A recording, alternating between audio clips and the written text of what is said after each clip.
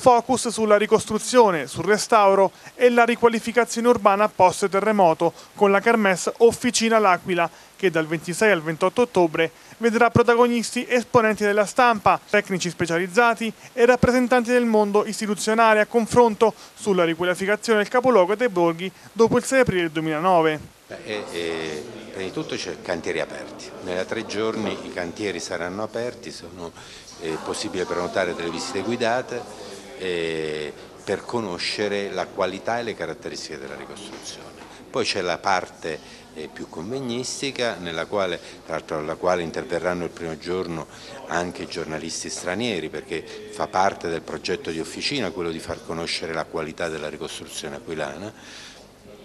e quindi il, eh,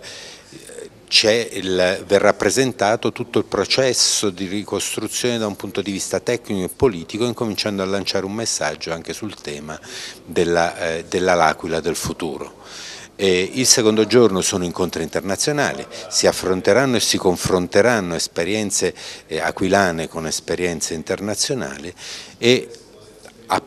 a, fine di questa giornata di nuovo ci sarà un intervento sulla L'Aquila del futuro tenuto da Koch, il rettore del Grand Sasso Science Institute.